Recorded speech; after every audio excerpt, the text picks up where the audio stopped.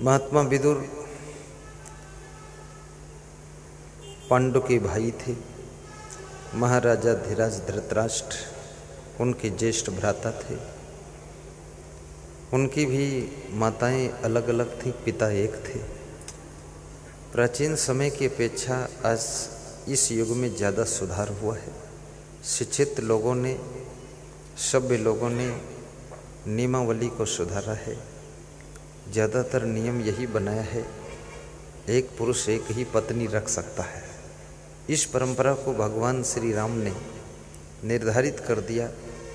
उन्होंने एक पत्नी व्रत का पालन किया, अपने पिता की बराबरी नहीं किया। पिताजी के पास तीन पत्नी थी, कौशल्या, सुमित्रा और कई कई उन्होंने समझ लिया कि पिताजी जो किए सो किए, लेकिन हम ये काम नहीं करेंगे। एक सीता ही ठीक है। राम चाहते तो वे तेरा पत्नी भी रख सकते थे। लेकिन कृष्ण भगवान ने कहते हैं, सोलह हज़ार एक सौ आठ उनकी रानियाँ थी। लेकिन ये जिन्होंने कहा है, जिन्होंने लिखा है, उन्होंने गलत लिखा है। कृष्ण भगवान ये सोलह हज़ार सब उनकी भक्ति करने वाली गोपिकाएँ थीं। और जो भक्ति करती थी उनको गोपी कहा जाता था। गो माने आपका जो गो गोचर, जो मन है, जो अपने मन और इंद्रियों के द्वारा भक्ति के रस को पीता है, वही गोपी कहलाता है। उसका नाम गोपी होता है। कृष्ण उस व्यक्तित्व का नाम है। कृष्ण माने होता है कर्षण कर्षण माने आकर्षण आकर्षण माने अटेक्शन अटेक्शन माने खींचना। जो जो अपनी ओर खींच करके, जो व्यक्तित्व, जो प्रतिभा अपनी ओर खींच करके भक्ति और धर्म के पथ पर चलने की शक्ति प्रदान कर दे, उसका नाम कृष्ण भगवान होता है। राम किसे कहते हैं? जो हमें हराम के काम करने के लिए ब्रेक लगाते राम रूपी ज़िंदगी जीने के लिए कला सिखाते, उसको राम कहते हैं। और लक्ष्मण किसे कहते हैं? जिसके मन में कोई विशेष लक्ष्य है, सेवा का लक्ष्य। उसका नाम लक्ष्मण है। भरत जो प्रेम से भरा हुआ है, वो भरत है। शत्रुघ्न जो काम, क्रोध, लोभ, मोह के शत्रुओं को मारता है, वो शत्रुघ्न है। दशरथ, जो दस इंद्रियों का रथ, ये शरीर है, यही दशरथ का रूप है। रावण, ये मन रूपी रावण, जिसके दस इंद्रियाँ रूपी शीश हैं, ये मन रावण का रूप है। और सुपर्णखा, जो मनोवृत्ति, मन की मनोवृत्ति जो चंचल है, वो सुपर्णखा है। और कुंभकर्ण, जो आलस निद्रा प्रमाद है, वो कुंभकर्ण का रूप है। और जो विभीषण जो नाना प्रकार की विभीषिकाओं के बीच में भी गुरुदेव की भक्ति, प्रभु की भक्ति को छोड़ता नहीं है, कष्टों के बीच में, चाहे जितनी विभीषिकाएँ उसको जला रही हों, फिर भी भक्ति ही करता है। उसका नाम विभीषण है। हनुमान जो मान अभिमान अपमान का हनन करे, वो हनुमान है। और याद रखना कबीर कौन है? का माने काया, वीर माने वीर तत्व, चेतन तत्व, आत्मा, जो काया में निवास करने वाले वीर तत्व, चेतन आत्मा का बोध करा दे और जिसको बोध खुद हो जाए, उसका नाम कबीर है।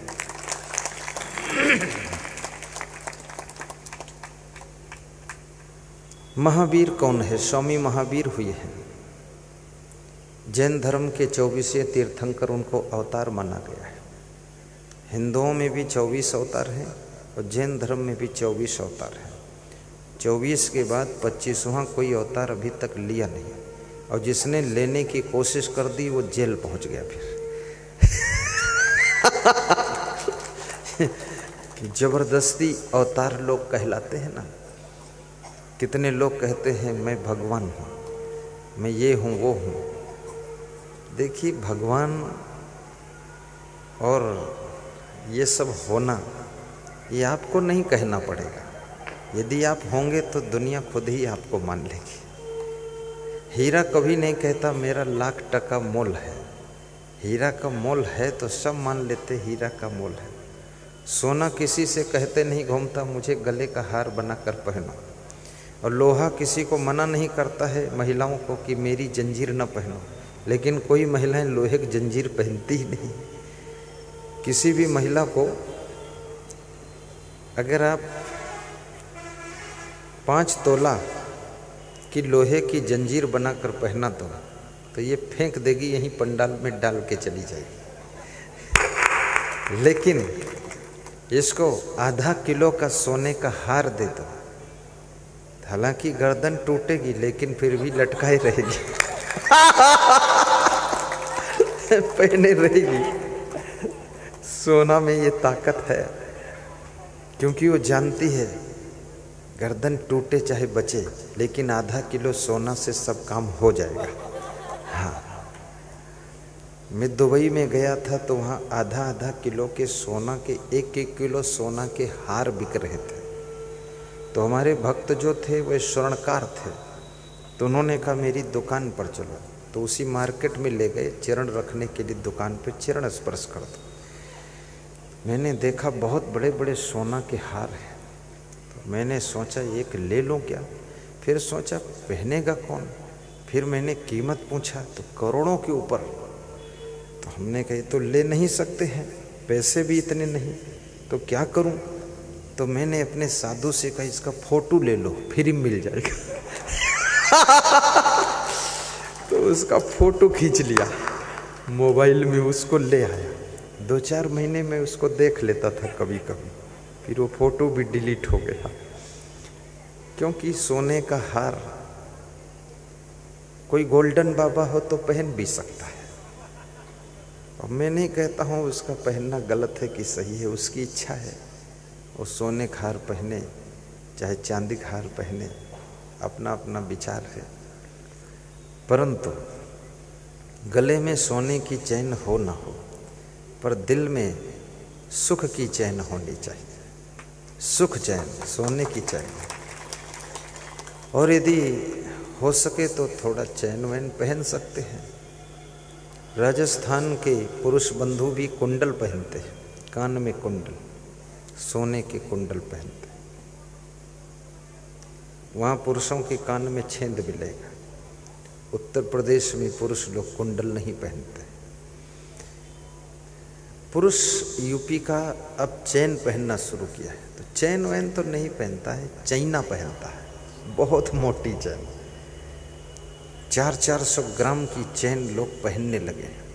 लेकिन मैं इसका विरोध नहीं करता हूँ। इसलिए नहीं करता हूँ, नहीं करता हूँ, इसलिए नहीं करता हूँ। क्योंकि सुनार लोगों का धंधा भी चौपट होगा, हम विरोध करेंगे। और कितने सुनार भी हमारे भक्त हैं तो कहेंगे, आपकी भक्ति भी किया और हमारा धंधा भी बिगाड़ा तुमने। तो मैं सोचता हूँ चैन वहन बिकती रहे, हमें क्या प्रॉब्लम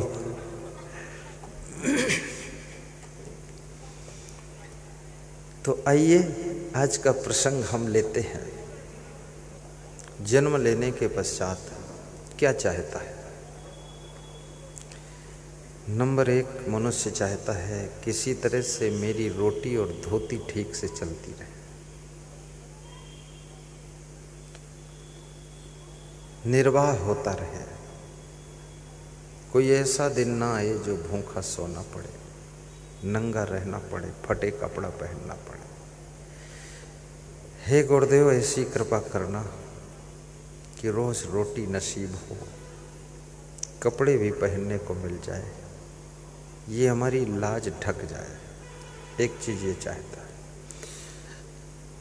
लेकिन जब रोटी और धोती मिल जाती है तब क्या चाहता है? निर्वाह की व्यवस्था हो गई। तब भी उसकी चाहना रहती है। दूसरी चाहना रहती है। निर्वाह हो, लेकिन थोड़ा सुविधा से हो। सुविधा फैसिलिटी से हो। यानी रोटी मिले तो ठीक ठाक मिले। और धोती मिले तो क्वालिटी की मिले। ऐसी वैसी धोती ना हो, सुविधा से रहूँ। अच्छा मकान हो, चलने के लिए अच्छी गाड़ी हो, पहनने के लिए अच्छे कपड़े हों, खाने के लिए रोटी, दाल, चावल, सब्ज़ी ही नहीं, बल खीर, पूड़ी, हलवा, बड़ा, कचौड़ी, पकौड़ी और श्रीखंड, लपसी सिमैया ये सब हो। सुविधाजनक जीवन हो। बिछाने के लिए बिछौना अच्छा। हो सुविधा हो। जब सुविधा उसे मिल जाती है तो फिर क्या चाहता है? फिर एक तीसरी चीज़ चाहता है। वो चाहता कि जीवन में थोड़ा आराम भी होना चाहिए। जो लोग बहुत मेहनत करके काम करते हैं ना वो एक दिन फिर आराम के लिए भी सोचते हैं कि बहुत कर लिया, बहुत देख लिया, बहुत कमा लिया, बहुत सब हो गया। चलो छोड़ो झंझट, अब आराम करते हैं। थोड़ा आराम चाहिए, आराम चाहता है। लेकिन जिनको आराम मिल गई, फिर वो क्या चाहते हैं? वो एक चौथी चीज़ चाहते हैं कि थोड़ा सुख मिलना चाहिए। सुख। अब सुख वाला विषय बड़ा कठिन हो गया। सुख कैसे मिलेगा? क्योंकि सुख लोगों के पास नहीं है। क्यों नहीं है? उसके बहुत कारण है। वो सभी कारण का वर्णन भी मुश्किल है। लेकिन कोई ना कोई ऐसा ज़िंदगी में कारण है जिसके कारण तुम दुखी रहते हो। आपकी बेटी गुस्सा बहुत करती है तो तुम दुखी रहोगे। बेटी ठीक है, बेटा क्रोध बहुत करता है तो दुखी रहोगे। बेटा पढ़ने में कमज़ोर तो दुखी रहोगे। बेटा टेढ़ा मेढ़ा चलता तो दुखी रहो बेटा कहना नहीं मानता तो दुखी रहोगे। बेटा मूर्ख है तो दुखी रहोगे। बेटा मनमानी करता तो दुखी रहोगे। बेटा आलसी है तो दुखी रहोगे। और बहू अगर ज़्यादा सोती है तो दुखी रहोगे। और बहू बेटे दोनों नाग नागिन की तरह पड़े रहते तो बहुत दुखी रहोगे कितने घरों में बहू और बेटा दोनों नाग नागिन की तरह सोते हैं। माँ बाप दरवाजे के सामने हिम्मत करके जाते हैं जगाने के लिए, फिर डर जाते हैं तो उल्टे पाँव वापस आते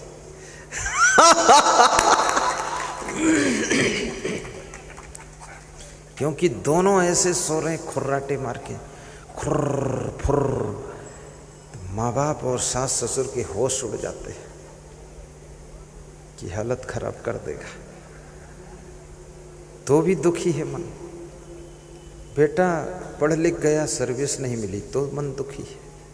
सर्विस मिल गई, दूर सर्विस मिली तो मन दुखी सर्विस मिली, वेतन घर में नहीं देता तो मन दुखी है। वेतन भी देता है तो दारू पीने लगा तो मन दुखी। पान तमाकू पुड़िया खाने लगा। किसी दूसरी औरत में फंस गया तो बहुत मन दुखी।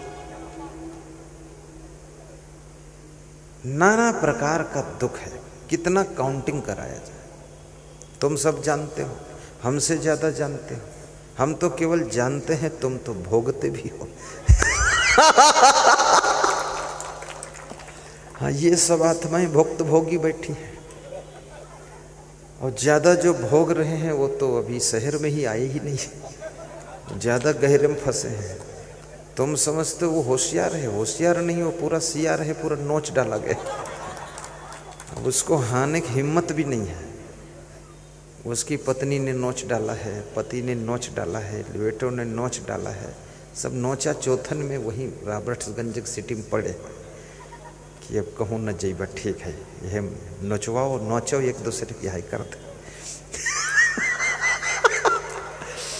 वही कोई खिलाड़ी नहीं है।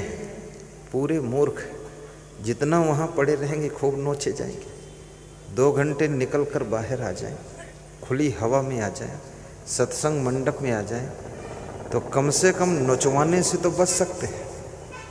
कुछ ऐसी कला सिखा दूँगा, जो उनका कोई नोच न पाए। और खुद हो दूसरे को नोचते रहे तो नोचा बंद कहते हैं, नहीं, नोचा, नोची, खैचा, खैची, ज़िंदगी भर चली। बड़ी विचित्र बात है। हाँ। महात्मा भी खुश है। महात्मा इसलिए खुश है कि हम तो निकल ले नहीं, बेवकूफ़ पंथ से बाहर हो गए। संत हो गए, बस शांति है। नाना प्रकार के दुख है। घर में गरीबी है तो दुख है। छोटा घर है तो दुख है। किचन का धुआँ उसी में भरता है, वो भी दुख है। महिलाएँ गंदे स्वभाव की हैं, झाड़ू लगाती ही नहीं। कभी हवा आ गई तो कचड़ा उड़ गया तो कहती वायु देवता की जय हो। उड़ा ले जाया करो कभी कभी वो भी दुख है। मेहमान आ गए, कोई घर में नाश्ता बनाने वाला नहीं। द्वार पर मेहमान बैठे, इज़्ज़त का सवाल है। अब घर में जो है काली देवी कलकत्ते की, बात सुनती नहीं, कोई चाय बनाता नहीं। चाय बनाने कहो तो चाय तो गर्म नहीं करते, अपनी खोपड़ी गर्म किए बैठे। वो भी दुख है।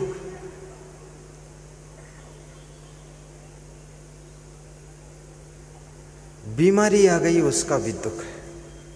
कितने घरों में बहुत बीमारी है। जिसको देखो वही बीमार है। सब कराह रहे हैं। पत्नी बीमार थी, ठीक नहीं हो पाई, पति के लकवा टेक हो गया। पति पत्नी दोनों बीमार, अब दोनों कौन उठावे? तब तक पता चला बहू के रे ट्यूमर हुई गवा है। और बेटा के जो एक्सीडेंटम टांग टूट गए। ना जाने क्या भाग्य फूटा हुआ है, सब चौपट हो गया दुख में दुख दुख में दुख दुख में दुख सब पैदा होता जा रहा। तीन नाना प्रकार के दुख है। पड़ोसी नालायक है। तुम तो राम लायक हो, लेकिन पड़ोसी नालायक है। उसके कारण भी दुख है। वो भी कुछ न कुछ हुड़दंग मचाता रहेगा। कुछ नहीं तो अंडा वंडा खा के डाल देगा। खोखला उड़ के तुम्हारी तरफ़ आएगा। जब कहोगे ये क्या किया तुमने तो कहेगा, तुमको भी अंडक तरह फोड़ दूँगा फिर।